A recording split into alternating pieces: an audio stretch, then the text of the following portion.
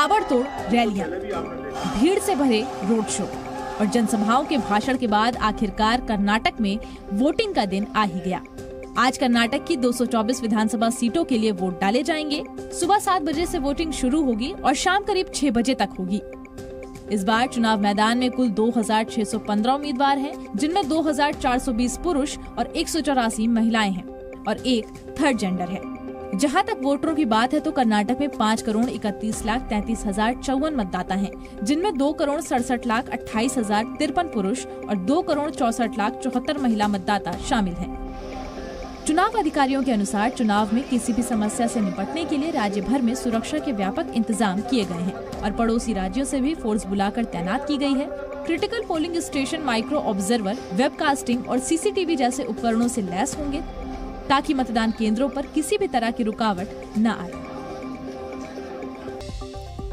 तो समान नागरिक संहिता की ओर पूर्वोत्तर के राज्य असम ने एक और कदम आगे बढ़ा दिया। सीएम हेमंत बिस्व शर्मा ने कहा कि उनकी सरकार कानून के ज़रिए एक से ज़्यादा शादी की प्रथा पर बैन के लिए ज़रूरी कदम उठाएगी।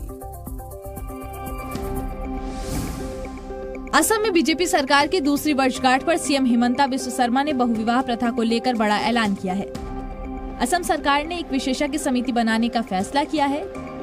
जो ये पता करेगी कि क्या राज्य विधानमंडल को बहुविवाह पर रोक लगाने का अधिकार है या नहीं। मुख्यमंत्री के मुताबिक समिति भारत के संविधान के अनुच्छेद 25 और मुस्लिम पर्सनल लॉ अधिनियम 1937 के प्रावधानों पर गौर करेगी। मुख्यमंत्री का कहना है कि समिति कानूनी विशेषज्ञों सहित सभी पक्षकारों से इसको लेकर चर्चा करेगी, ताकि एक सुविचारित फैसला लिया जा सके। हालाँकि मुख्यमंत्री ने साफ़ कहा है कि वो समान नागरिक संहिता की ओर नहीं जा रहे हैं, बल्कि वो चाहते हैं कि बहुविवाह पर राज्य के एक्ट के तहत प्रतिबंध लगे।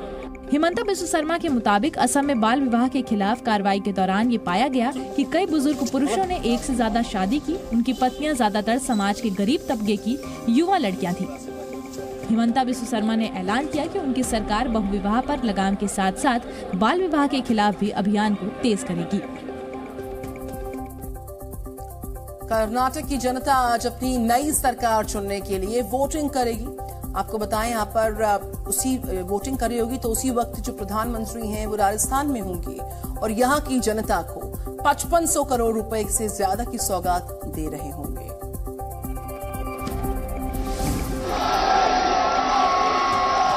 कर्नाटक विधानसभा चुनाव में वोटिंग के बीच आज प्रधानमंत्री नरेंद्र मोदी राजस्थान का दौरा करेंगे। और जनता को 5,500 करोड़ रुपए से अधिक की परियोजनाओं की सौगात देंगे। प्रधानमंत्री नरेंद्र मोदी अपने दौरे के दौरान सड़क और रेल सहित बुनियादी ढांचे से जुड़ी कई विकास परियोजनाओं का लोकार्पण और शिलान्यास करेंगे। पीएम मोदी सुबह करीब 11 बजे नाथद्वारा के श्रीनाथ मंदिर जाएँगे और वहाँ कई विकास परियोजनाओं का लोकार्पण और शिलान्यास करेंगे। दोपहर करीब सवा तीन बजे पीएम आबू रोड ब्रह्म कुमारी शांतिवन परिसर का दौरा करेंगे। और जनसभा को संबोधित करेंगे। अपने राजस्थान दौरे के दौरान PM Modi Udaipur railway station के पुनर्विकास की आधारशिला भी रखेंगे। इसके अलावा PM Modi super speciality charitable global अस्पताल की आधारशिला भी रखेंगे। यह अस्पताल गरीबों और आदिवासी लोगों के लिए आबू रोड में 50 एकड़ ज़मीन पर बनाया जाएगा।